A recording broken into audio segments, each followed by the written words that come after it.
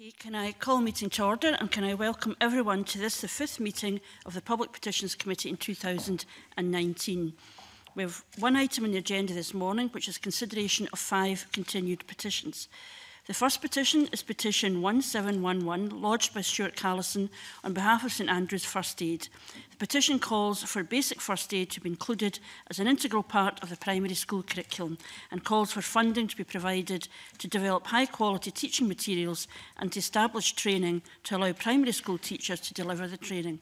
Mr Callison is the Chief Executive of St Andrews First Aid and he's going to give evidence to the committee this morning alongside his colleague Francis Stewart. Also on the panel, we have Colin Peebles, is a teacher at Mearns Primary School in Glasgow. And I'm also absolutely delighted to welcome some young people who will be giving evidence this morning. And actually, we've already experienced these young people's demonstrating their skills and probably the best ACTA committee we've had in a long time. So thank you very much indeed. Um, we did that informally before the meeting, so I want to welcome Rebecca Russell, who's a student at Glasgow City College, and Ellie Meek and Millie Robinson, who are pupils at Parkhead Primary School in West Calder, and want to welcome you very much today to get the opportunity to talk about um, why you think the petition is so important. Um, so welcome to you all, and can I invite uh, eh, Mr Callison to provide a brief opening statement of up to no more than five minutes, after which we'll move to questions from the committee. Good morning, convener, ladies and gentlemen. It's a great uh, pleasure to be here on behalf of St Andrews First Aid, one of Scotland's oldest charities and the only dedicated first char aid charity in Scotland. We're asking this morning the committee to urge the Scottish Government to do more to promote basic first aid as part of the curriculum in all Scottish primary schools. The curriculum for, for excellence does, of course, provide scope for this. For example, one of the outcomes is that children should know and be able to demonstrate how to keep themselves and others safe and how to respond in an emergency. But as things stand, it's very much down to every individual local authority whether or not these essential skills are taught to pupils. Um, and in practice, first aid learning does depend heavily on the knowledge and, enthusiasm of individual teachers, such as Mr. Peebles. Scotland's Information Services Division recently highlighted the stark fact that those living in the most deprived areas of the country have a death rate from heart disease six times higher than their wealthier neighbours, are 36% more likely to die from a stroke.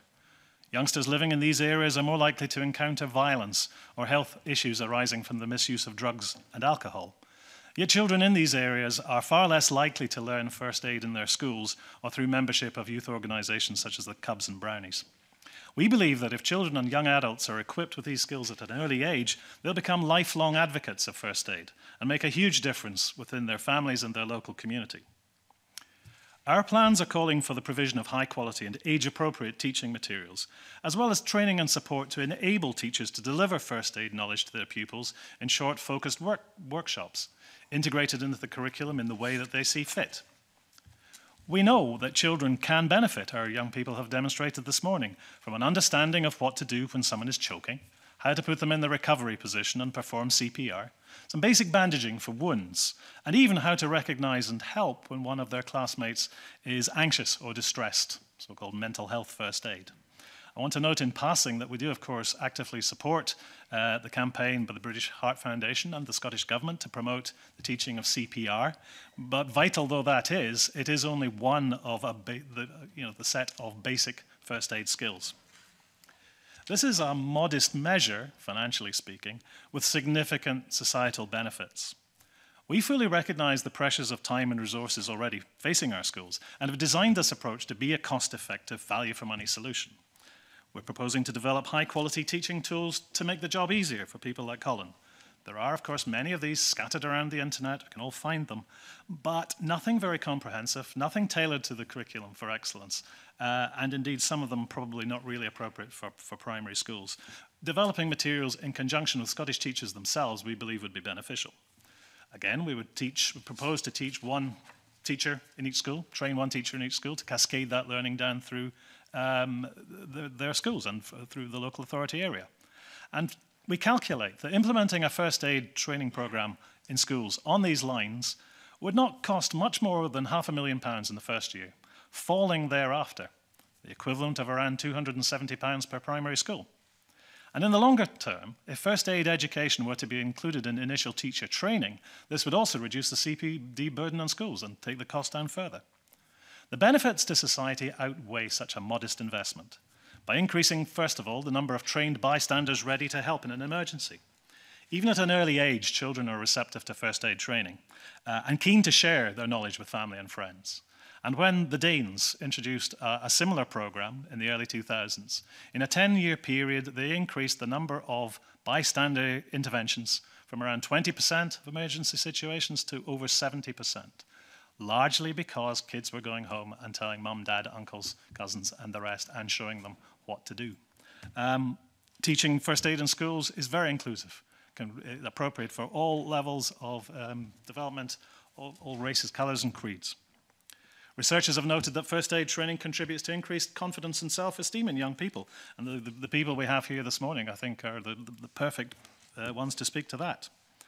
As a skill for life, first aid training also can help young people to be more risk averse, uh, particularly um, the consequences of binge drinking and drug use, specific areas where it's shown that teachers who, uh, that teenagers, sorry, who understand the risks involved are less likely to get involved themselves, and they're also able to help their friends when they get into trouble.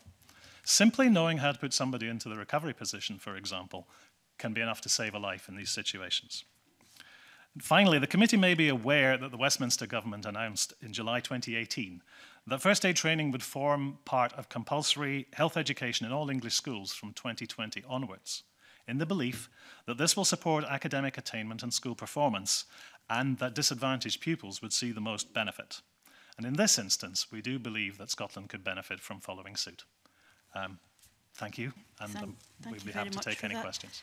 we'll start off with some questions, but I think we're probably particularly keen to hear about the experiences of the young people who are involved and also obviously Francis who's involved in a lot of training and um, our, our, our primary uh, teacher. But just I'll be asked a couple of questions and I'll ask my uh, colleagues to ask some questions, but please feel free to direct the questions to the person in the panel you think might be most able to, to answer.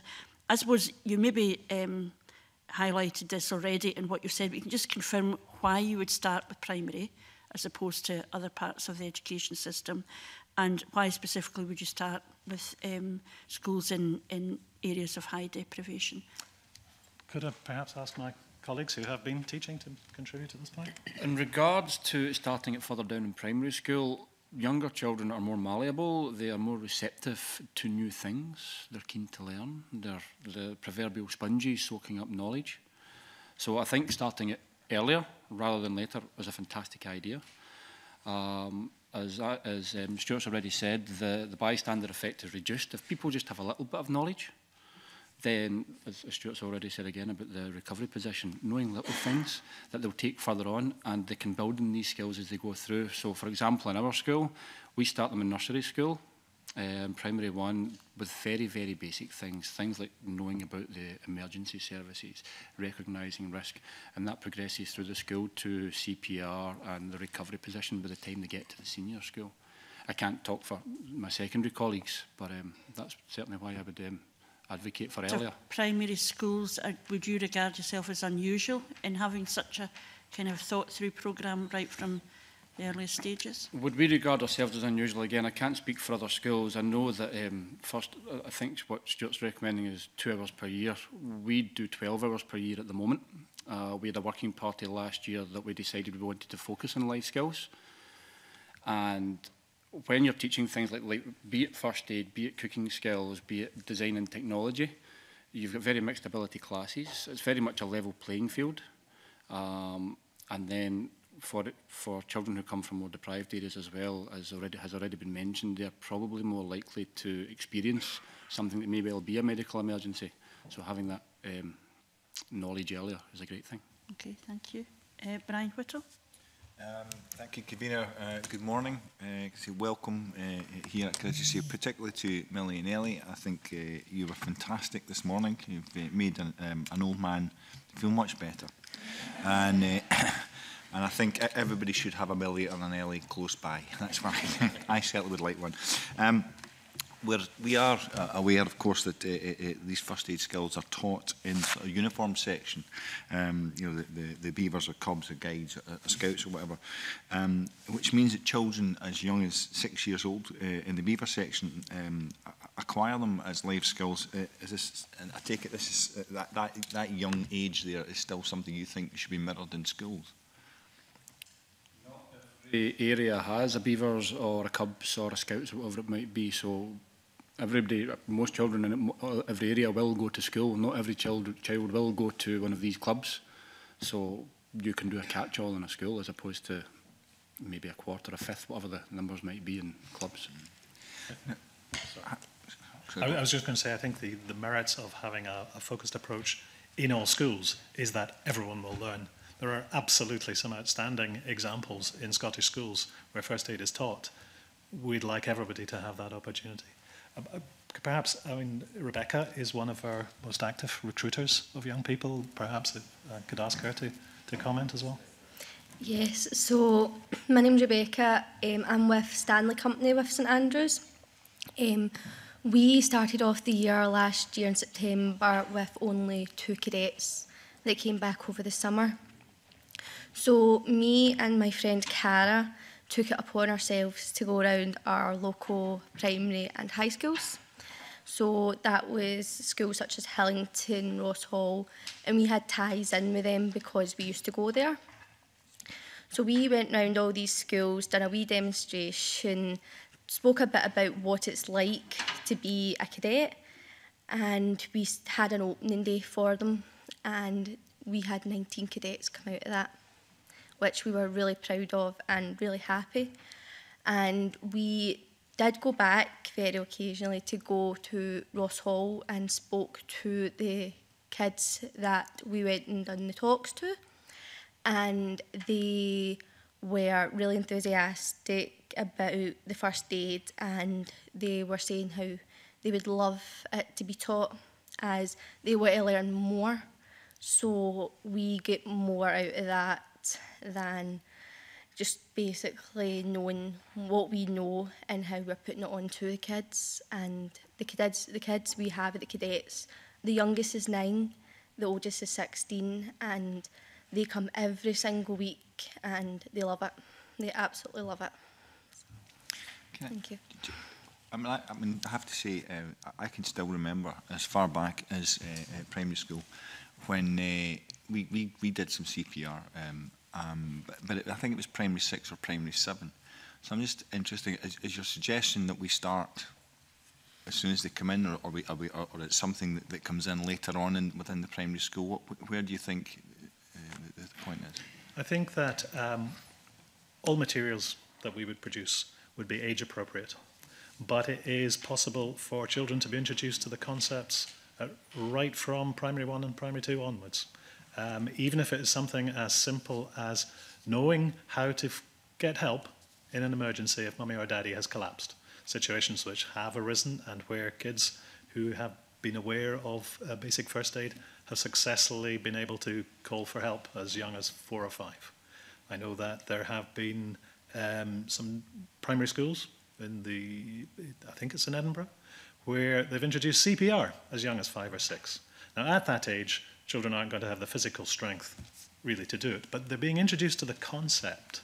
And the introduction of those concepts that's demonstrated lasts longer if you start younger. You, of course, a five year old probably won't be able to do effective CPR. However, they're far more likely to refresh those skills when they go on to secondary school and in later life. So, yes, we would propose to have age appropriate teaching available for classes right the way through the school. Yeah, I think it's important to note that first aid, if it becomes normal, and inverted commas, at an early age, then it stays normal. It doesn't become something that someone has collapsed over there or I'll pretend I didn't see that, which unfortunately is the case in some cases. If you have started to get that knowledge and that confidence in it at an earlier age, and as Stuart said, CPR by a five-year-old may not be effective, but if they are aware of the motion and what that might be. And as they become bigger and stronger and are able to continue these skills on, then to me that's a great thing. Could I just sort of, I wanted to ask uh, Millie and Ellie, because uh, I'm trying to get you back for hurting me so much. Um, I want to ask Millie and Ellie, do you, uh, do you feel confident enough to, to, to maybe teach your classmates these skills? Uh, you, you tried to teach me these skills and I was terrible.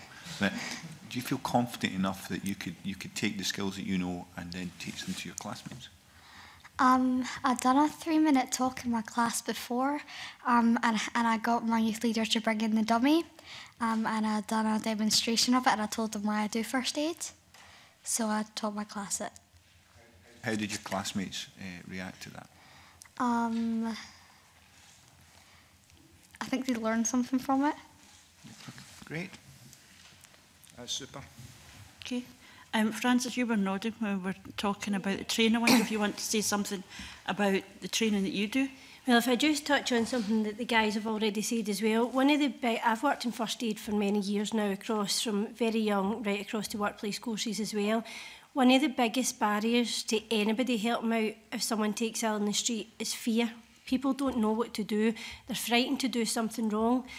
See, the younger a child is, and the more you get them used to it, even if it is, they see a dummy on the floor and they therefore know how to touch it, know what that feels like, know what the depth is. These kind of things mean that they don't have that fear anymore. I've got a son who's just about to be two. Now, he can't do CPR. I'm not saying that, right?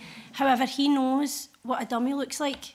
See, when he gets older, he's not going to be frightened of that then because he already has an awareness of what mum does. He already has an awareness of how to help somebody because he's seen me doing that. If we can get rid of the fear early on, that means it's far easier as they get older when they're going through things. If you get them early on and you say to them, right, well, if you see someone lying on the floor, all you need to do is call for help. You get them to colour in an ambulance and it's got 999 wrote on it they're not frightened of that as they get older and then it becomes like building blocks you then just have to keep reintroducing things you don't need to start from scratch again as I say when I'm out training I've trained primary ones so it is proper training it's not that you're just going in and you're just talking to them you're taking them through things you're showing them that they can do such massive things even though they are so small they are people who they can be shaped into this thing We want to make sure that nobody is frightened ignoring over and asking if somebody needs help. They don't need to know everything. They don't even need to remember all of the training. They just need to know that they can go over and they can do something. And doing no first aid is much worse than going in and having a shot. So you need to go and you need to try, you need to be able to have that lack of not being terrified to do something. And the younger someone is, the better chance you've got to shape them to being able to be first aiders as they grow bigger. Okay. Um, I wonder if Rebecca wants to say something about her experience, because I think one of the things that struck the committee was that, that this is a skill that literally saves lives, which is just an amazing skill to have um, and an amazingly important skill for people to have. And I know that you, you spoke earlier informally about things you've been involved in, and I wonder if you wanted to share that with the committee.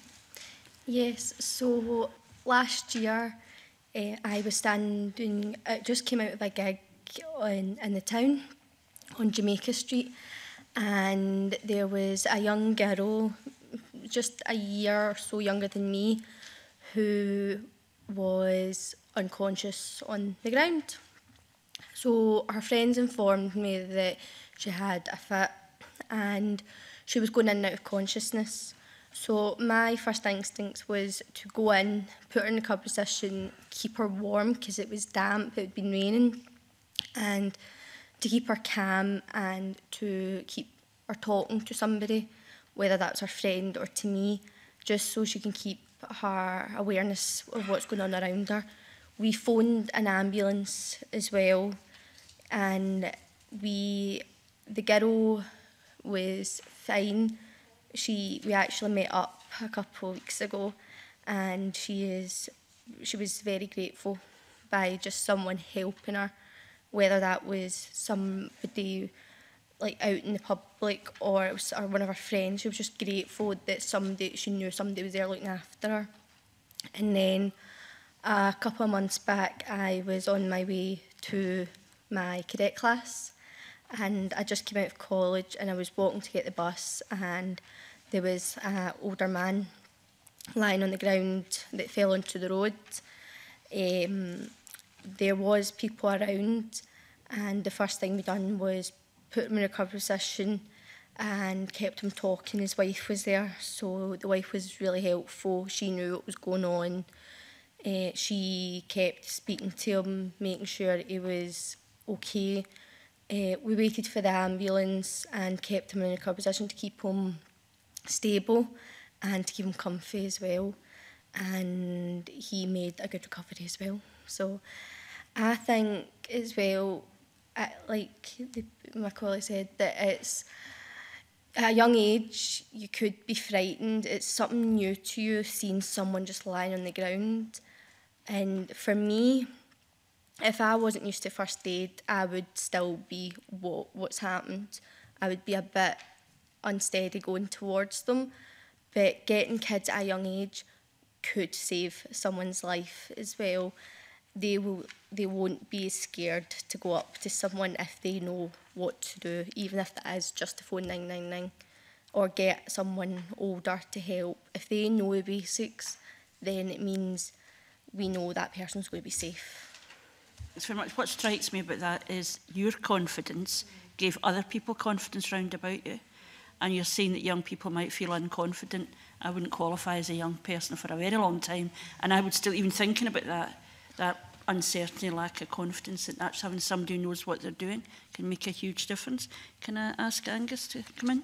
Okay, thanks, um, convener. Um, I, I, this is a great evidence session so far. It's it's so good to to hear um, ex, ex, some uh, prime examples of, of of how it's been going so far. But can I just? Uh, uh I'd like um, to place on record um, um, an issue that I have uh, in, in my local authority.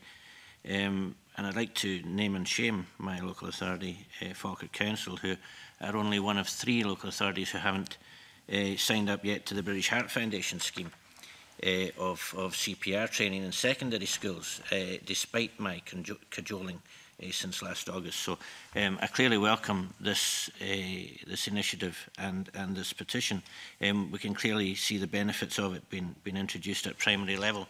Um, and uh, clearly, if, if, if it's introduced at primary level, we're not going to have the issue uh, at, uh, at secondary level. So um, I, I was wondering if, if you could maybe expand on uh, Mr. Callison, the, the, the, the initial cost that you were talking about in the first year of, of, of half a million pounds, um, for training teachers, uh, uh, one teacher in each school.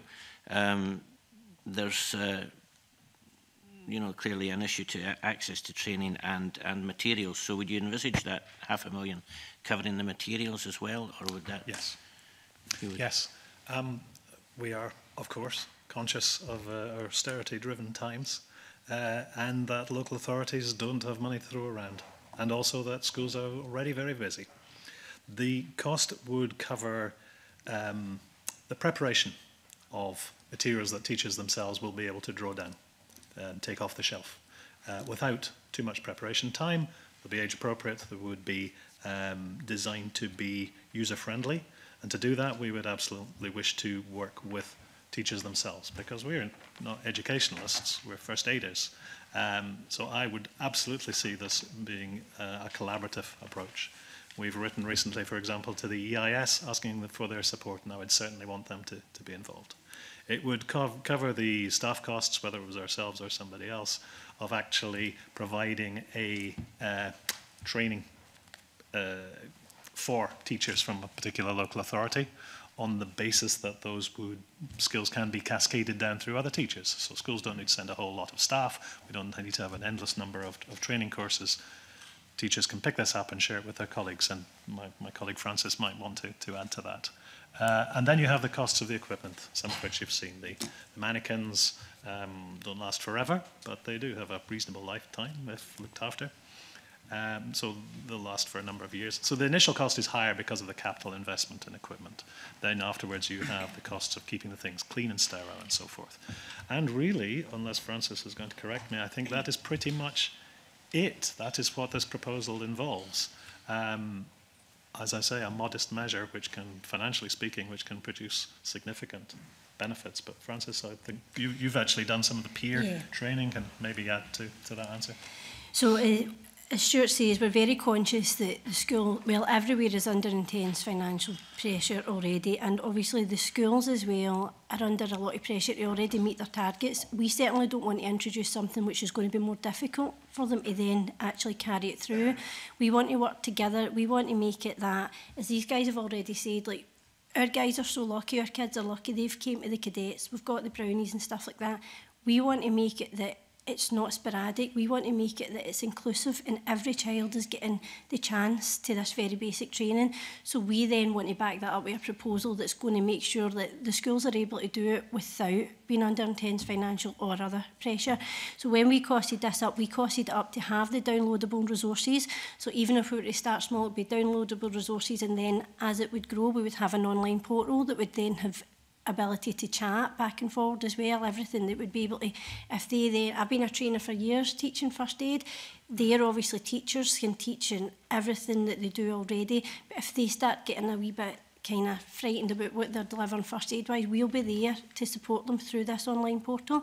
We've also included a starter pack which will be bandages, wipes, all that kind of thing, everything that will enable them to carry this training out. And as Stuart says, we've costed up for mannequins to be there for the school to have. So that will become theirs and they will then have to, yes, upkeep it, but as long as the mannequins are looked after, they can last for years.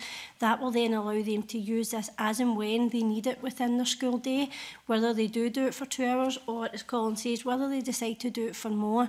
But the resources that we give them, That will enable them to do this completely and be sustainable in their delivery with the arm reach help from us, basically.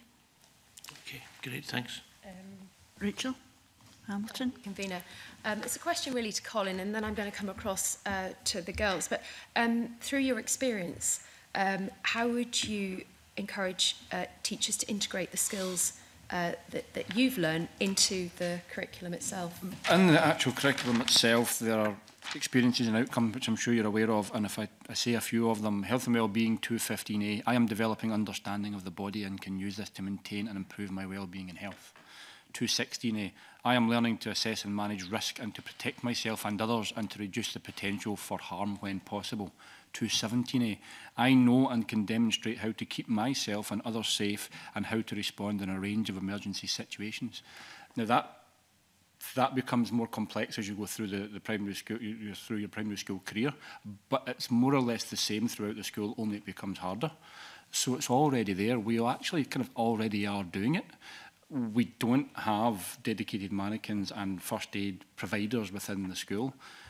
Personally, I have a first aid qualification and I'm happy to do it. And as I say, we're working part in our school, we sat down and said, what are the things, the, the main life skills that we want these children to leave school with? And first aid and emergency management was one of the ones that we wanted to do. So teachers would be fantastic to have an off-the-shelf resource. We make up our own resources and schools and teachers who know each other in different schools share resources, but to, to have an off-the-shelf resource which is prepared by experts in conjunction with teachers, personally I think is an excellent idea. Thank you. Um, thank you as well. Um, I just want to put on record my thanks and um, your confidence and, and your calmness is incredible and I would have felt really confident if I'd had to uh, do CPR with you next to me, but I'll take that away and I'll always remember that if it does come to that. And uh, I know Joanne Lamont, our convener here, she's trained all her staff uh, in CPR first aid training, and I'm going to think about doing that for my team as well. So thank you for enthusing and inspiring us uh, today. So I'm, I'm going to ask you a question. How do you think that you could encourage other teachers in Scotland? Because obviously this is only being delivered in uh, very few schools at the moment. How would you enthuse and encourage teachers um, to, to be like uh, but Mr. Peebles, is it? I can't see your name. Mr. Peebles, um, what would you say to them? And how would you say, come on, you can do this too? Ellie, you have a. Um, like, I would say to them that it's quite good to know, um, the other kids should know it as well, so it would be quite good if you could teach them it. And if you don't own it, you, you could learn it as well. Okay. What would you say, Millie, to other teachers? Um, I think if they see how useful it is, then they will want to do it. Like, just if they see, like, because if you know it, then you could save a life. I think if they know that, then they would want to do it. I feel because I have been through a lot of the schools to recruit the kids, speaking to teachers face to face, they are really up for it. And a lot of the teachers do have first aid background, whether that's just the basics to help out just in case. But every single teacher that I've spoke to is really just wants this to happen and they I feel like once it does happen, a lot of the other schools will be like, yes, we want to get involved because and at the end of the day, it is a great thing to know, and you will help people. So I think yeah. Thank you. Um, David Turns. Um, and can I put on record, in my eight years in Parliament and committee, that is probably the best start to any committee I've been on. in fact, you to Ellie and Millie for um, their confidence in telling me what I was doing wrong with CPR there, as my 29% showed. um, You say um, first aid is a life skill and something you take forward in later life and a benefit to your communities. How can we achieve and uh, encourage communities to take up first aid skills? Or I can only speak, again, I can only speak for my own school, but we have actively gone to local businesses. We've contacted local parents and asked them to come in. We have a, a whole programme, as I said uh, earlier, of life skills, of which first aid is just one and we have uh, links with local parents who have come in, uh, one who's a doctor who's come in and taught EpiPen training to the entire staff. We have parents that come in as doctors and nurses and first aiders and deliver some of these lessons for us.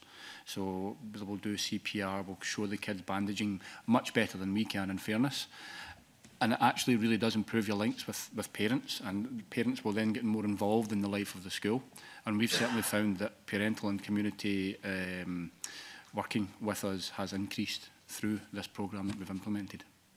I think this is an area where the concept of um, community hub schools has a, a useful contribution to make as well. It's uh, been piloted in various local authority areas as a, a centre, you know, the school is a centre of education and information yeah. for the whole community. To add on to that, we, we actually will run courses after school for parents of um, um, less able or, le or more deprived children in the life skills that we've been teaching their children as well. I think one would make mention of another initiative which we are currently uh, beginning to work on with colleagues in the British Red Cross and Scottish Ambulance Service, um, which is to look at a, a joint uh, community resilience programme um, which would be to bring all the different initiatives of this sort and others, community first responder schemes, um, our volunteers, the respective volunteers, to provide some uh, falls clinic, for example, something which colleagues in Wales have, have piloted, volunteers who are ready and available at short notice to, uh, to go out to help um, someone in that situation to take some of the pressures off the emergency services. And I think this is um, it's a separate but very interesting initiative and another example, I think, of how building from this base block, um, you could actually take these skills and knowledge uh, and a contribution to making communities generally more resilient and safer to quite a wide extent.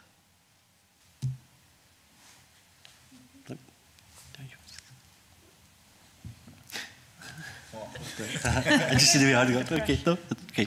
Um, in your uh, petition, it notes that St Andrew's First Aid trains thousands of people in life-saving skills um, across a wide range of different age groups. Can you give some examples of that and maybe expand on your bandage programme? Would you talk? yep, so uh, I uh, delivered the Bandage project myself across the schools in Glasgow. So that was started in 2015. It is still running currently just now. Um, it ran across four schools initially in Glasgow, which were St Rock's, Springburn Academy, Clevedon and St um, John Paul Academy. And they did it for a couple of years. So basically, we taught the full of third year in the emergency first aid course, the same as Joanne's staff, so exact same course. And from that, we also taught them an peer element. So basically, we didn't know, again, everything comes down to funding for ourselves also, so we didn't know how long we were going to be able to keep up going into the school. So we wanted to make sure we were making the schools resilient and sustainable and carrying on. So we developed a peer education programme as well.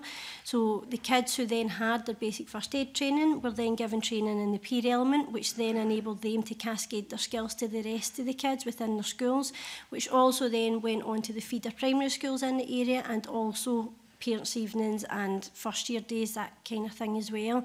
Now, I do have a couple of story, success stories from that as well. So in 2015 in St Rock's, um, there was a teacher that came into the training with us as well. So a teacher came in and we then had pupils obviously fill up the rest of the spaces. A couple of months after the first aid training, we received a call that somebody in the school had taken a heart attack. It was a pupil had taken a heart attack. But the symptoms, and again, unless you've done the training, you've been lucky enough to go and do it, you don't always know the symptoms that aren't the ones that just stick out. So this young girl, at the time, it was severe indigestion that she was feeling and she just had slight pains but the pains were in her shoulders and that kind of thing. Now a lot of people were saying, oh just sit down, just have a glass of water, you'll be okay. The teacher and one of the pupils that had been on the first aid course knew straight away that these were symptoms of a heart attack. They knew straight away that it was a cardiac problem just simply because he was gone through the training that we had did. They knew that these symptoms were more in line with something like that because of the persistence of the symptoms. They saved that wee girl's life because she got straight to hospital. They treated her for a heart attack, got her straight to hospital, and she had no long-lasting damage from that. And that was just from a four-hour training course in basic first aid. The same year, in um, Clevedon Secondary. I dealt with a couple of pupils and one of the pupils, he did the first aid and the peer element and he suffered himself with diabetes and he'd had it for years. It was type 1 diabetes, so he'd had it from he was very, very young. And he'd went through quite a lot of years of not managing it properly because he didn't quite have an understanding, although it was himself, the condition, but he was young.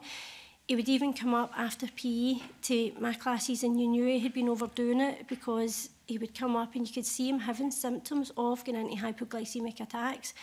Once we went through that part of the training, he started to understand more, and this is to touch on what Stuart said about the consequences. Obviously, he had the condition. He knew his condition better than anybody, obviously, but he didn't necessarily know what was always going on inside his body with that and what the consequences of that were. Through doing that training, he then was able to manage his condition much better. And the, I then worked with him for a few years because the peers in Clevedon were absolutely fantastic and they worked in the local communities all the time. He was able to live a far better life after that because he understood the consequences simply from doing a diabetes section with us. Our third one, uh, this story, some of you might know this one. This was in 2016, but it was also someone who came from the Band Aid programme. His name was David Corrigan, and he actually ended up going on um, to win the Brave at Heart Award. Now, David had done his basic first aid training with myself. And two weeks later, a similar story to Rebecca's, two weeks later, he'd been walking down Argyle Street and a man got hit by a bus in front of him. And again, he was cool, confident, collected, because he had just done the training. Again, a four-hour course, that was all it was. That's far more than we are now proposing as well. It's a far less time commitment we're now proposing. He had done a four-hour course. Again, he was able to then get that man into a safe position. He used his initiative to go into the shops round about and get white roll, things like that, because you're not always going to go about with a first aid box, but he knew how to equate that to what would be in a first aid box. He stopped all the bleeding, got the man into recovery position, got an ambulance, saved his life, all simply by doing the bandage project that we provided. But again, we were only able to get into four schools with that, and that's why we started looking at this proposal. We it that every single child in Scotland has got access to what we've already given to these four schools that we've been in, but we need help to do that. So we have the first aid knowledge and we have all these great stories. I am very lucky to have worked with all these children. It gives me just as much joy as it gives them. And we are lucky to do that, but we now are at a position where we have the expertise there and we now need help to be able to roll that out right across. We, uh, St Andrews is very proud of the efforts of our volunteers around the country, um, of our staff uh, in, and our community projects. In our workplace uh, training, social enterprise, which trains something like 15 to 20,000 people every year. Um, and the Bandage program, as Francis described it, was great but it's impact we want to see. This is it's not really about the cost. There are some really strong arguments for doing this through schools rather than charitable endeavor. Uh, the first, and my partner's a teacher, so she probably prompted me to say this, is that teachers are role models for young kids. They will learn more effectively from teachers. It's just going to be easier to organize first aid training as part of the curriculum if it's done naturally and organically um, through the staff than to have organisations like St Andrews or British Heart Foundation or anyone else come from outside. That is a difficult thing, I'm sure Colin would agree, to organise into the, to the school day, as well as the, the time and you know, how would we roll it out that way. Um, but I think that in terms of long-term investment, there is international research evidence which supports that pupils just retain more of the knowledge if it comes from the teachers Teachers are the best people to pass this information on. Uh, and another study that uh, I uh, would uh, cite was uh, found in 2012, I think, that after just one training session, four-hour training session, as uh, Francis has described, for teachers, uh, those teachers were able to demonstrate CPR in schools as effectively, if not more effectively, than medical professionals who had been brought in to do the same thing. So this is the way ahead in terms of the impact for Scotland as a whole. What would be the pupil commitment in the programme that you suggest? Because clearly young people have got an interest and go and they, and they develop further skills and they do learn a lot from that. But the very basic in terms of this proposal, how much time would it be per pupil in the school? I think that some, oh, I would maybe throw that over to, to Colin. I think you mentioned about 12 hours uh, in your program, but we, we would be flexible. This is somewhere where we would actually listen to teachers themselves in designing a, a program. I think it could be done um, going through the school progressively. It could be done with as little as one or two hours a year. um, or it could be done more intensively. But we would listen to professionals like Colin. So I'll I get. I think it's down to the individual, not only the individual teachers, but the individual school and how they could see it integrating into the teacher's workload already. Yes, we do more. Um, and we do it in six-week blocks. So we have a six-week block of a certain amount of pupils will have first aid training. Other pupils in the school will be getting something else at the same time, and they rotate throughout the school year so everyone gets it during the school year. I would also probably include that though, yes, the first aid training is a health and well-being outcome, but this type of thing can be linked into numeracy. You can do surveys on uh, what do we think about first aid. You can link into technology, which we quite often do. We get the pupils to make small infomercials with the iPads or other technology we've got in the school. It's also really good for things like role play 999 calls, actually doing the 999 calls, and that can be as low down as nursery and primary one. There's great examples on the internet. Uh, there's one in particular of a five-year-old girl who makes an emergency call and directs an ambulance into her mother who has had an epileptic seizure and has fallen down the stairs as an unconscious. So, One of the things that strikes me is that um, we had a petition not that long ago from a family who lost their child because nobody knew where the defibrillator was and it all fell us of apart that it's like people not having confidence. There is support there, but having the confidence to make that intervention at an early stage. And certainly, I mean, it was mentioned about the excellent St Andrews first aid training that um, I and my staff got. That what I reflected on there was certainly in my working life, there was the first aider. They were named or on a poster somewhere. And you think, well, why would you have a poster with somebody's name on it? You've then got to go and find them and maybe be better if we all knew.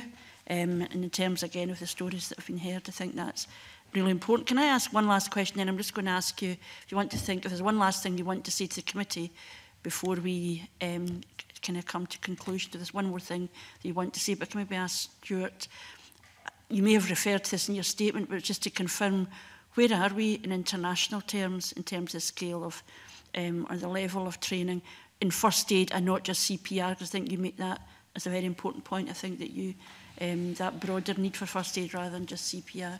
Where are we internationally? I think the honest answer is that more ev evidence and research is required. Um, the way of collecting official statistics, for example, varies from country to country, so making international comparisons is not always as easy as it might be. There is a general lack of um, research on this topic, which should really be addressed. That said, the evidence that does exist suggests that Scotland has been uh, poor by European standards, close to the bottom of league tables for bystander interventions, um, first aid training, number of current first aiders, uh, you know, people who've trained within the last three years, and the like. Although, in fairness, it is improving. Initiatives such as the Out of Hospital Cardiac Arrest Strategy, uh, with the caveat about the way in which statistics are collected, um, definitely show that initiatives of this sort are moving the dial in the right direction. Uh, and here is an opportunity, I think, to see significant improvements uh, internationally. I cited the study in Denmark. There are others in, in uh, the province of Pavia in Italy, where, again, uh, instituting a primary schools training program had knock-on benefits for that city compared with surrounding areas which didn't have it because kids tell others and people, it demystifies the, the whole experience. So I, uh, we are not, uh, we stand very poorly compared with somewhere like Norway, forgive the, oh, the, the, the, standard comparison in this place, uh, where about 90% of people are trained in first aid. But that didn't happen overnight. Um, measures of this sort would move Scotland to similar levels in a relatively short space of time. Couple of Brian, you're wanting to come in. Good, yeah. I mean, you're, you're here because uh, this is it's not the norm to have uh, this type of training uh, for for young uh, for young people. Can I probably Francis probably best answers. Where's the, where's the resistance coming from then? If if, uh, if if you're not able to roll this out the way you want to. There's not necessarily resistance. It's a lot of it's down to funding. A lot of the time, so Schools obviously again have big pressures on them already for where their budget goes. We don't get in, we have to apply for funding to be able to provide this kind of thing. So the Bandage project was funded and it's been funded every year that we've ran it from outside funders. So therefore within that funding, we don't have open-ended amounts of money. We can then roll it out into every single school. It's all costed up for a certain amount of schools. We've then always went towards the schools with the higher in the higher areas of deprivation because as we've already alluded to those are the areas that they perhaps wouldn't be able to access it in other ways and are probably more likely to go and something to happen out in the street so we've had to go down that route I'm pretty sure if there was funding available that every school would want this kind of thing to be in their school but it's down to a lack of funding and also down to a lack of, as we've already said, Colin's been able to do it in his school and they've been able to fit it in, but a lot of the time teachers think straight away that it's going to get forced upon them and it's something else they're going to have to add to their already existing pretty heavy workload that they've got. Whereas we want to make sure that they know that we want to work with them and make this as easy as possible for them. But again, it then comes down to us being able to have the funding to go in there. So I wouldn't necessarily say there is resistance, It's just there's goalposts that we can't get past because of funding issues. We, we did approach um, the minister at the time, um, Mrs Campbell, um, whose response on behalf of the Scottish Government was to acknowledge our efforts and to refer to uh, the work being done by Save a Life for Scotland and the Out of Hospital Cardiac Arrest Strategy and others. But as I've already emphasised, vital though a knowledge of CPR is, there are many other common emergencies possibly even more common emergencies, where having the same basic level of understanding will help to save lives. So CPR, great. For a full first aid program, even better. And, and it isn't about the cost. I think Francis is right. be perhaps are thinking, well, you know, teachers just don't want yet another mandated thing. Um, and it's not appropriate in Scotland in any case, because that's not how our curriculum works. But we have, from the outset, not sought to use anything along the lines of compulsion or mandating teaching and so forth. I think that the, the, it's more important that we bring teachers along with us, that we make it easy for them. I'm absolutely certain that the teaching profession would be on board with it when they realise, or if they're assisted, um, to realise that this is really not nothing too difficult. We're making it easy.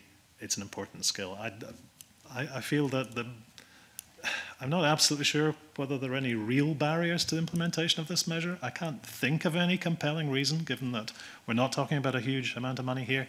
Um, but of course, if there are others we haven't thought of yet, I'd be more than happy to address those. Okay, Rachel Hamilton. Uh, just a short question on that. Uh, do you believe it uh, lies with the role of the Director of Education within the local authorities to um, influence what is in the curriculum? It, it absolutely does, of course, and, and I think we recognise that, but feel that um, there is scope for a stronger steer on this because otherwise we will be left with the situation where some children in some areas will learn first aid or have the opportunity to learn, and others may never come across it in their entire school career. And I don't think it should be left to such a patchwork. And approach. my last point on your um, the out of hospital cardiac arrest strategy, which of course concludes in 2020. Yes. Um, I think there's room for a refresh of that if the government want to see an additional half a million people trained in, in CPR training. I think the, the, the strategy has been effective. There are other measures uh, that could be taken. I would maybe just touch, as my final contribution, on the petition by Jaden's Rainbow, which I think the convener was referring to. We have met with uh, Ms. Ora and her family and with Stuart McMillan, MSP, um, to learn more about their work. Um, we absolutely want to assist them to take that forward. Uh, and again, I've written to, to, to Ms. Orr on behalf of the charity recently to suggest that Uh, we would like to meet with all the relevant partner, parties in the area, the local authority, uh, the MSP, uh, and work with that local charity. We can assist with our volunteers, um, with defibrillators which we have, which are still serviceable, have been used by volunteers, but are being replaced by newer models. They're, I'd like to work with the ambulance service to implement our public access defibrillation strategy in that council area in support of that charity. And I think if everyone were to work together, particularly the ambulance service needs to provide some guidance as to where the most effective place to put these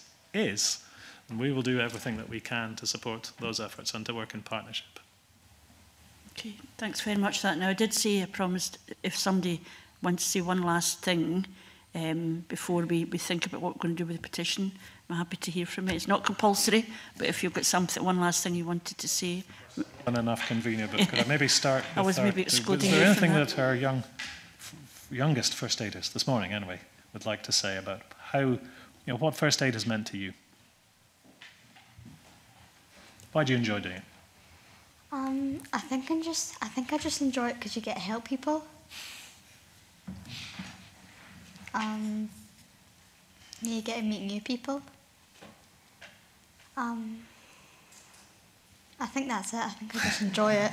Rebecca?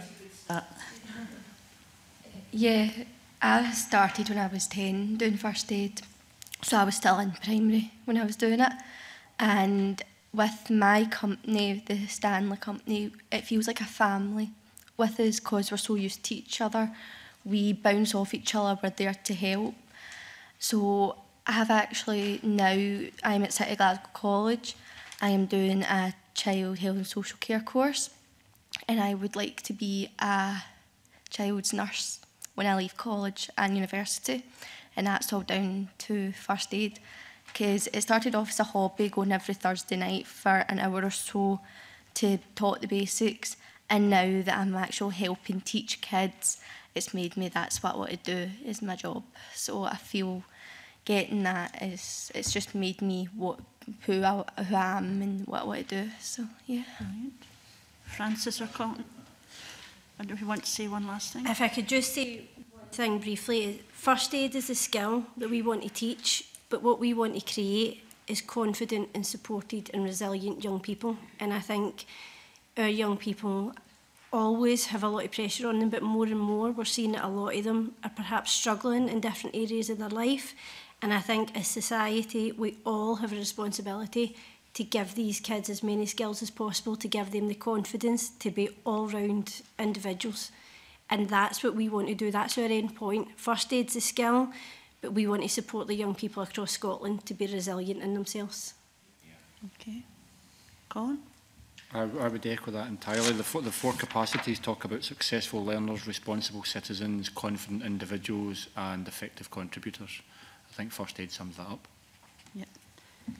Can I just say that if there was an, ever an example in front of us of the confidence that's given um, to young people who do first aid, we've got three fantastic young people here who display a degree of confidence and calmness at a committee that quite often older and um, uh, witnesses don't display. So I really, I mean, it's just a living example of that, that um, it's, it's more than just the bandages, really. Um, I think we've learned a huge amount from it. And I think, certainly in my view, one of the comments is made about mental health first aid, the idea that you could encourage a young person to support their pal when they may be feeling a wee bit distressed is something I think that we would also, is the kind of thing we would also want to be able to do. So we have to think now about what we want to do with the petition. I think, if I'm right, did we already write to the Scottish Government? So we've written to, to the Scottish Government and are waiting a response from them. I would be interested in what the teaching unions um, think. You've obviously referred to other people who, and I, I, I'm very pleased that you've been in contact with um, the, uh, the petitioners and, and with Stuart McMillan and trying to be practical in support of that. But other charities and organisations have an interest, I think we would also want to hear from. David?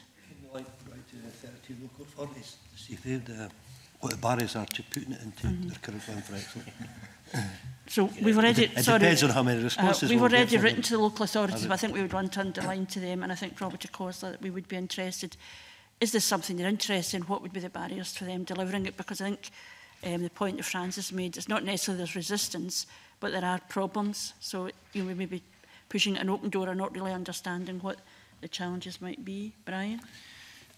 Can I just echo your comments, uh, convener, around not just the fact that it's a, a a life skill that uh, it's it's looking at the confidence uh, of, of the, the young people in here today. A credit to yourselves, um, and uh, as you know, I, I am an advocate of of, of uh, allowing access to uh, learning outside of the norm, whether that be this or sport or art or music or drama. But in this particular instance, they can save somebody else's life. Um, I think um, it's very compelling the evidence that you've given.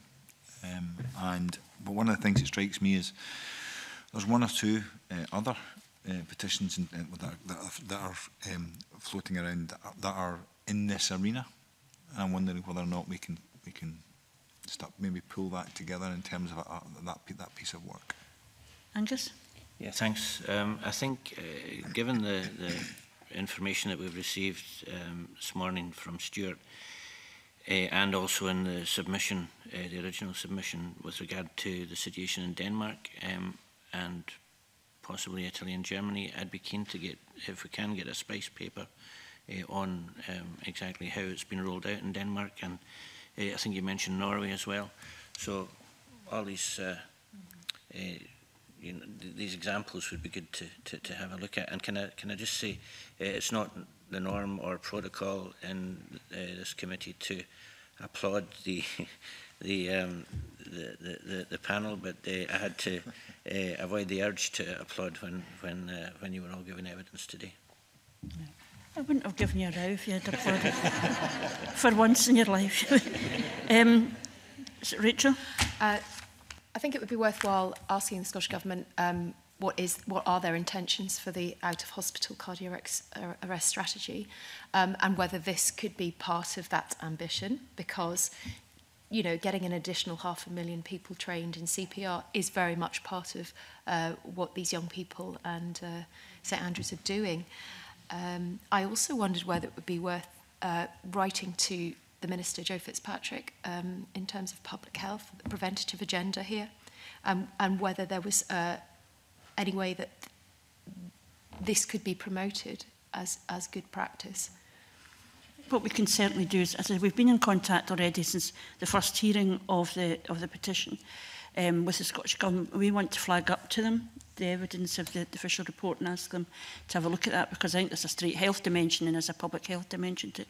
The thing that I find most compelling around the, um, the out of hospital cardiac arrest strategy is that you're more likely to have a heart attack, as we said at the beginning, and less likely to get help um, if you're living in, in, a, in a less privileged area. And I think that just, in terms of just fairness and justice, that can't be right either that you're less likely to have somebody around about you to help you. But also I think the point I find very powerful that um, it can't just be about CPR. It must be about that, but it can't just be about that because there are other things that we've seen already. The responses that the, the young people have made have been to all sorts of different incidents that some of us would have stepped back from. So I think what we would want to do is to reflect on the written submissions um, at a future meeting, perhaps flag up to SPICE. It would be interesting some of these um, international comparators, if we haven't already done so, to make contact with the teaching unions to see if there's actually a resistance there. My own sense would be the resistance will be if it's simply creating extra work and expectation without actually the support that's underpinning it. Um, and I think we would want, I certainly would be very interested in hearing from um, the Scottish Government round how this kind of approach is a practical delivery of, of some of their policies. Is there anything else we can usefully do? It's, um, um, I think we certainly would want to reflect on the evidence that we've heard. There's a whole number of strands there, and I'm very aware that you know, you, it may have prompted you in terms of some of the other things that you're doing. So if there was other things that you wanted to flag up to us that you thought would be useful to our consideration, please feel free um, to come back to us. But I think I speak for everybody on the panel. We want to thank you all very much for the evidence you've given today. It's been um, very thought-provoking very interesting and certainly in the pre, but very entertaining as well, which is, is also a novelty. Um, but I want to thank you all very much for your attendance. I'm going to suspend briefly to allow the, um, you to move away and then we'll go on with the rest of the business. But thank you very much again.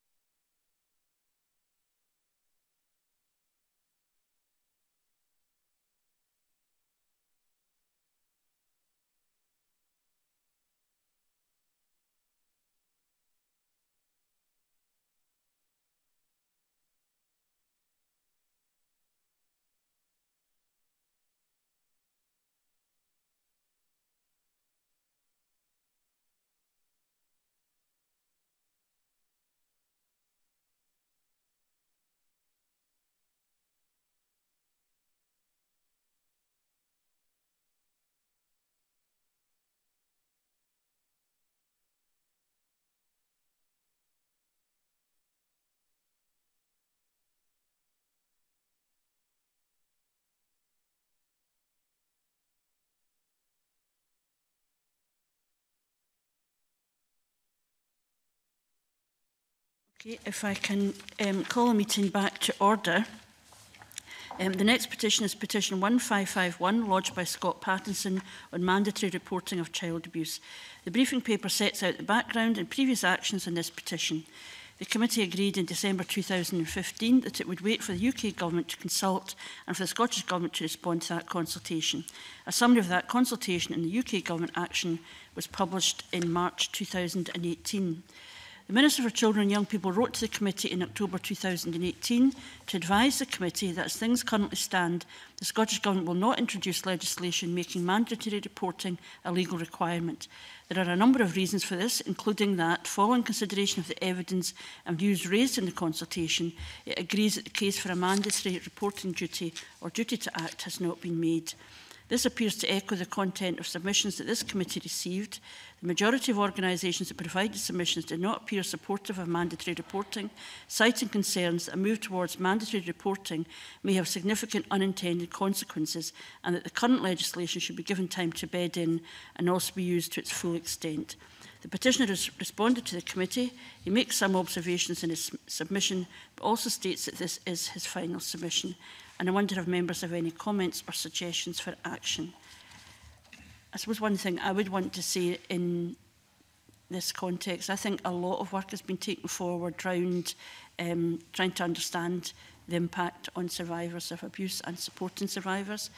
The inquiry, obviously, into child abuse is part of that, but there are broader issues for um, those who've been, been abused, abused in a family setting. And so I think we have to decide whether this proposal helps that or does it make a difference? Rather than saying, is this the way in which we simply support survivors? I wouldn't want people to think that because we didn't necessarily support this petition, that we don't have a, a recognition of the, the, um, the terrible challenges that, that survivors of abuse um, still live with, often into adulthood. But I was very struck by the fact that um, that there's such a wide range of people didn't feel that this particular approach and mandatory um, reporting was going to help. I wonder if others have comments to make. Brian?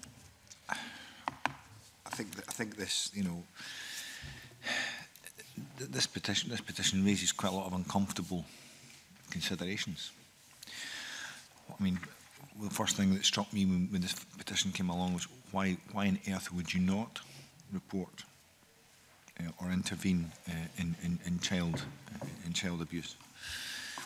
as you, you alluded to, it can be a lot of a lot of child abuse happens within uh, a, a family setting. Um, I have to say, I, I with you, I am, I am, I am. Uh, first of all, I was surprised, but then when reading through it, re recognising that the majority of people who, uh, of organisations who submitted to this petition didn't think mandatory reporting was was the way to go. Um, and, the, and as you've looked, there's, there's, other, there's a lot of work going on, and we've done a lot of work just within this committee on this particular uh, uh, issue and surrounding issues. So I, I've got to say that that uh, I'm not I'm not sure we can go any further with this particular petition. Uh, that's my my gut feel just now. I did note from the um, Minister of Children and Young People submission in October 2018. They say officials will continue to monitor and evaluate the effectiveness of the Scottish child protection system, working closely with stakeholders and any relevant UK government officials, which also gave me some um, confidence that it wasn't simply saying, you know, this is not an issue for us, but they recognise they must constantly be open to um, ways in which they can make sure the child protection system is effective. Angus? Yeah, I would I would uh, echo that, convener, and I, uh, I think the salient point in the, the Scottish government's response in October was that they they, they feel there's not a compelling uh, argument for mandatory re reporting at the, at this time. So um, I, I think um, there's also a strong argument to allow the, the current legislation to to bed in. Um, so I think I don't, I don't see how we can take this petition any further at the moment, given the responses that, that we've received. Okay. Anyone else? No. I wonder then, for are we suggesting that we would close the petition, recognising that the petitioner can, of course, petition the committee again at a later stage, um, but um, in closing the petition, we would be recognising that the Scottish Government itself has said it's involved in a great deal of, of um, activity around this area, but that they have committed to continuing to monitor and evaluate the effectiveness of the child protection system. So are we agreeing that we would close the petition under Rule 15.7 of Standing Orders on the basis that there does not appear to be any support for the action called for in the petition, but that there are um, there is evidence, clear evidence, that there's a recognition across the Parliament far beyond of the importance of being alive to the, the, the issues around child abuse and the the, uh, on the need for a robust transportation system. Is that agreed? Agreed. Okay. In that case, if we can move on, the next petition is petition 1595 by Sandy Taylor on a moratorium on shared space schemes. The committee last considered this petition in September 2017 The committee noted the outcome of, of a seminar on shared space schemes and anticipated that the petitioner would take part in a working group in relation to findings in the seminar report. The petitioner in his latest submission reports that he has had difficulty in arranging a meeting um, that he would like to have with the Minister for Older People and Equalities, and he says he is concerned about responses received from Transport Scotland. He points to the UK Government guidance note on using shared space to improve high streets for pedestrians, which has been temporarily withdrawn for updating, suggests that in his opinion the Scottish Government should take similar action and that he understands that schemes are currently under construction in Scotland. And I should say that um, Rona Mackay, who um, was a member of this committee, was unable to be here today, but she obviously was very aware um, of the issues highlighted by the petitioner as he was a constituent of hers. I wonder if members have any comments or suggestions for action. Angus? Um, well, uh, it, it's interesting to note uh, in, in the briefing papers that the, the UK Department for a Transport has recommended that local authorities pause the development of uh, shared spaces schemes while uh, they review and update uh, their, their guidance. Um, so, given the situation south of the border, it, it may be uh, worthwhile writing to the Scottish Government once again to to ask if it still uh, holds its its previous view that the a decision on, on shared spaces is very much a, an issue for, for the local authorities rather than a national government. Um, I also note the petitioner's point that he's uh, he, he's he's approached uh, this issue on a national basis rather than uh, just a local basis, which was highlighted to us when the petition uh, came to us at, at the start um, and also that it's, it's, uh, it's an issue of equality and, and human rights. Uh, and I'm uh, slightly surprised that uh, despite the, the best efforts of the, the petitioner and um, the MSP, Rona Mackay, uh, they haven't managed to secure a meeting with the Minister for Older People and Equalities. Um, I would have expected uh, that that would have been um, you know, a, a route that everyone would expect him to go down to, to, to, to raise the issue. So um, there's maybe some way that we could encourage the minister to meet with the petitioner uh, in the hope that uh, um, the, the, the, the whole shared spaces issue can be can be looked at. Um, Not not just on an inequalities issue, but uh, on a planning issue as well. I mean, certainly from my recollection, there was a sense in which the, the message was come back from government was they did want to engage with issues that the petitioner had raised and that he should be involved in um, a working group, I think it's reflected, but we maybe try to establish that. But certainly, I think the point you make about um, the Minister for Older People and Equality is perhaps being aware of why this matters so much for particular groups, because it feels like, oh, well, it's just a planning issue, but as we discovered, there's actually, there, there, there was an equality dimension to it that perhaps we wouldn't have thought of if it hadn't been for um, the petitioner. Um, Brian? I would um, uh, agree with, uh, with Angus MacDonald. I think that um, it's, although the, the planning, obviously, planning is part of the issue, the real issue is, is anybody being excluded uh, from these areas, which is Um, which is exactly the opposite of what what they're designed designed to do. And I think that um, uh, encouraging the minister to at least hear uh, hear the petitioner out uh, I think it's something, given, given that this petition's been sitting in here uh, for some time, I, I, I think it would give it some sort of weight and credibility. Okay, I mean, certainly my sense was that um, the shared seminar, the seminar on it, and the Minister for Transport, when he was in, was quite positive of trying to respond to the issues that were been highlighted. Um, at UK level, they're obviously updating their guidance. They've seen that there's an issue there. We want to clarify with the Scottish Government, again, just what their position is. Are they, uh, is it that they don't have a role at all? but it's up to each individual local authority or is there guidance that's going to go out um, and perhaps in this question about the usefulness of, of engaging with the petition I think would be helpful. So is that agreed, Rachel? Has there been any indication um, that the petitioner will be included within the working group or is it an invitation? I'm, well, my sense is that what the Scottish Government is now seeing is it's a matter for local authorities, but um, perhaps that's something we could usefully ask as well. Because it may not have been that it was intention to engage the petitioner directly with the minister. I can understand that, but if there was a group who had an interest in the field and he was, my sense in the past was it was an expectation he might have been involved with. That might have been um, simply misunderstand my part, but that would be worthwhile clarifying, I think. Okay, if that's agreed. So um, we will um, write to the Scottish Government and just to clarify its view on um, its role in relation to shared spaces, a suggestion we think that would be useful for the Minister, um, if at all possible, and we recognise the constraints on, on her time to meet with the petitioner, but certainly some clarity on how they see the petitioner being part of, of the work going forward. Um, and if that's agreed, we can move to the next petition, which is petition 1640, lodged by Eileen Bryant, calling for action against irresponsible dog breeding. We took evidence in this petition last year from the Cabinet Secretary for Environment, Climate Change and Land Reform, during which he highlighted a number of initiatives and other measures, including consultations, which have been taken forward to address the concerns and issues raised in the petition. We invited the petitioner to respond to the evidence, but unfortunately a submission has not been received. The clerk's note advises that the government is expected to report shortly on its consultation in dog, cat and rabbit breeding activities. The note also refers to Christine Graham's final proposal for a Responsible Breeding and Ownership of Dogs Scotland Bill.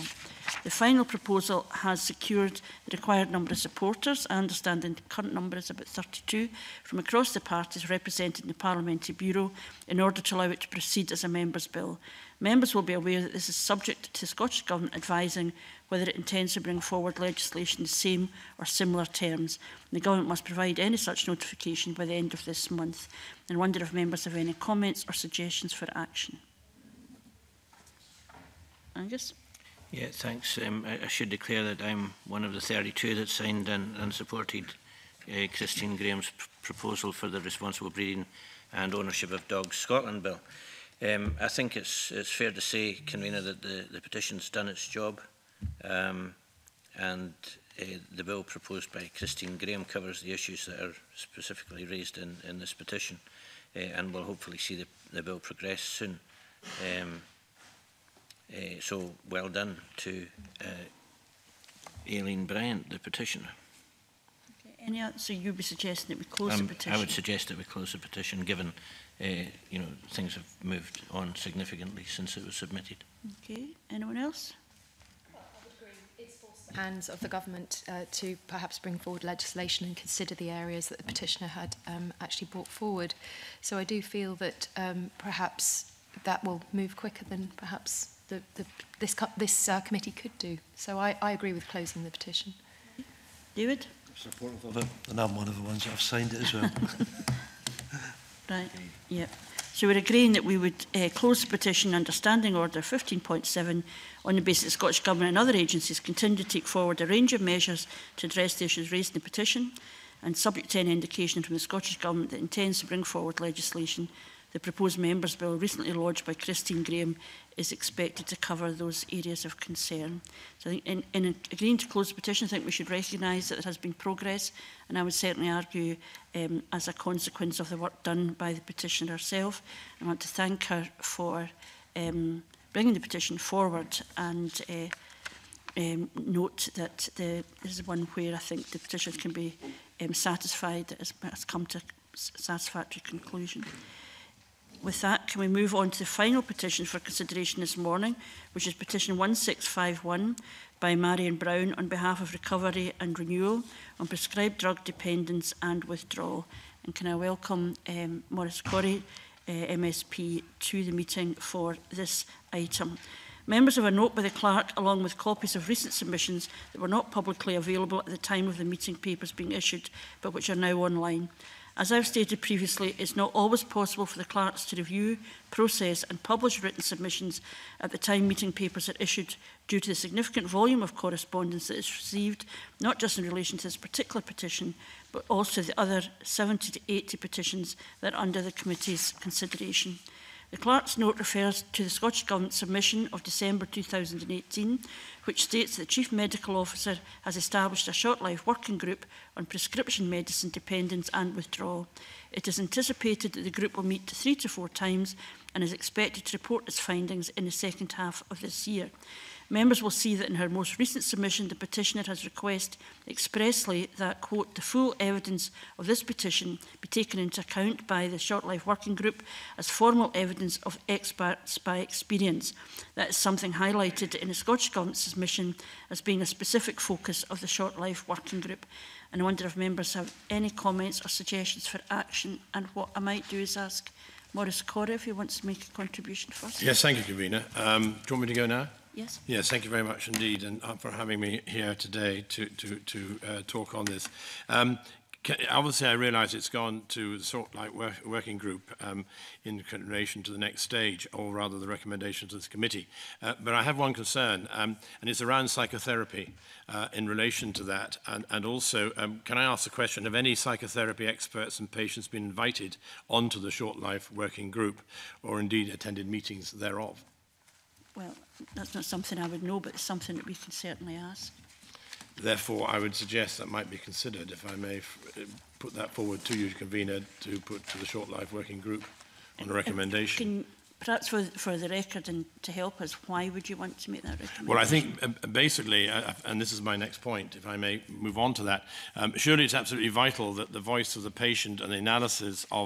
personal accounts of prescribed drug dependence and withdrawal uh, submitted are submitted to the, uh, and as submitted to the uh, Uh, Public Petitions Committee, or if not so, um, it, uh, and it was written in a report in October 2018, uh, that be taken into account um, it, without fail uh, in relation to this whole matter.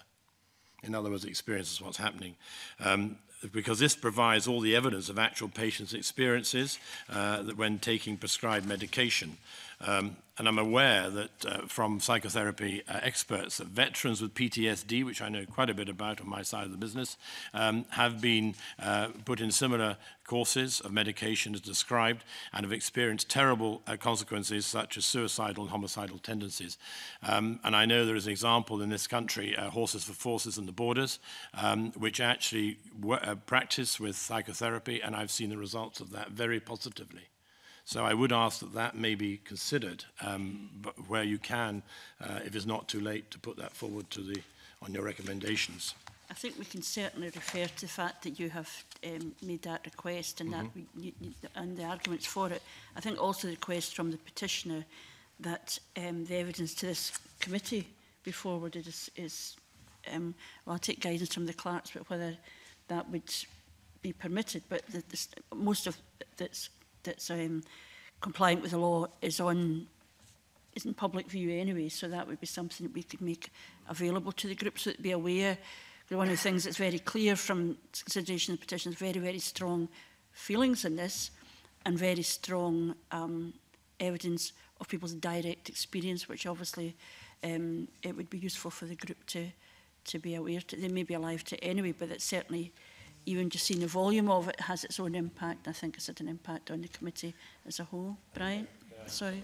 Yeah, one thing is obviously the all-party parliamentary group, which is a report produced in August 2008, The Patient's Voice, obviously is a very apposite on this particular subject, and I think it's something I presume has been taken into consideration, but something I certainly would, would, would commend to be followed up. And I think uh, also the, the question of alternative methods be considered, but certainly from the armed forces side, we've a lot of, very lot of experience have come from this, and we have seen the suicide rate, um, sadly, it's still not good, but it's certainly been looked at, and obviously it's related in some cases to treatment, and therefore we've seen it, as I say, with use of animals, for example, horses. I've seen it with dogs and things like that, and certainly very positive outcomes on it. So I would commend and implore that state consideration.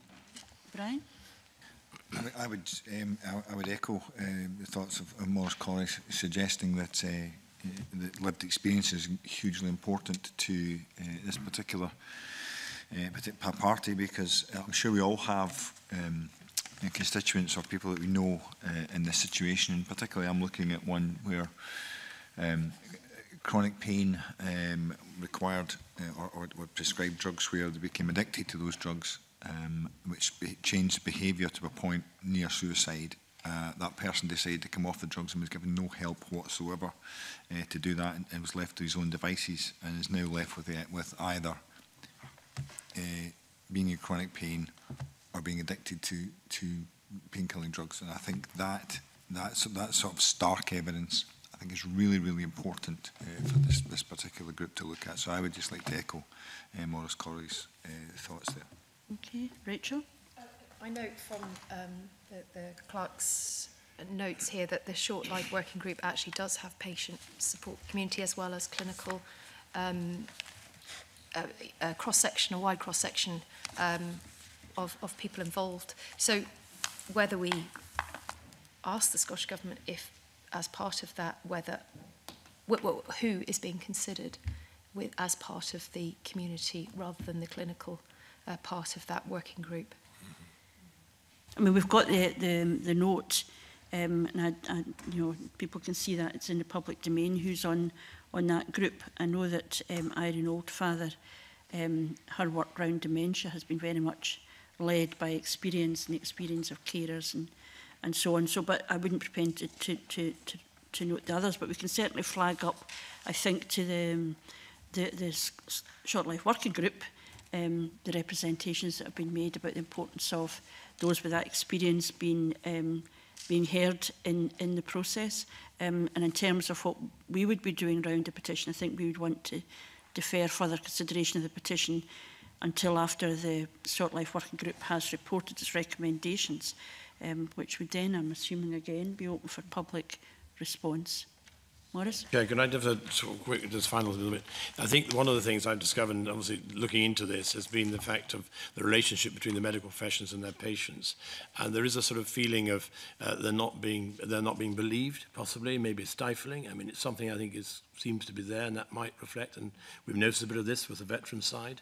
Uh, and there's no disrespect to anybody, but I think there's maybe this question of understanding that and the communication between the two. So I, I would ask you maybe to pass that forward this has been a theme, I think, in the, in the committee's consideration of a number of petitions, whether it was in ME, whether it was in MESH, um, the extent to which there's maybe a gap between what clinicians believe is happening and what the direct experience is and how you make sure and it's not that they don't want to know about the direct experience but they maybe are seeing it in different ways and it's just recognizing that it's important to reflect on you know, and I think that's why it'd be useful for to highlight out the submissions we've received not just because their individual testimony is very powerful, but simply the volume of them is quite, is quite striking. And obviously, um, those engaged in this would have to make the balance um, and understand um, the different, all the different bits of it that they would need to reflect on. But, you know, stories of people who are uh, prescribed drugs and then that becomes more of a problem than the thing that was drugs were prescribed for is a challenge. So I think we would hope that the short life working group would be um, reflecting on that. Unless there's further um, some comments, I think we would want to, as we've agreed, defer further consideration of the petition until it's reported its recommendations, but highlight to the Short Life Working Group this conversation and the submissions that we have received in relation to what for a lot of people has been um, a very difficult and, and challenging issue. Okay. So if that if that's great, thank you very much, Maurice Corey, for your attendance, um, and thank everyone else, and I'll close the meeting.